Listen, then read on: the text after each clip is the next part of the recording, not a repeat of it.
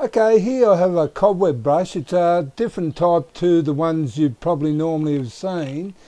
You can see it's got an angle adapter on it and it's actually got a Euro thread uh, so you can screw it on most poles with Euro threads but as you can see I've adapted uh, my own sort of quick lock system onto so I can use it on my poles but I'll show you how it works under gutters, eaves, etc. So here we have it. I'll just put it on a slight angle like this so I can get into the guttering. Uh, and I'll just extend my pole.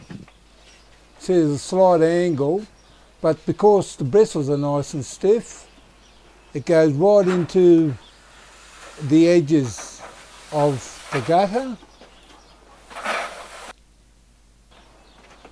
also in between the eaves there, under the eaves here, around your window frames where sometimes you get cobwebs, etc.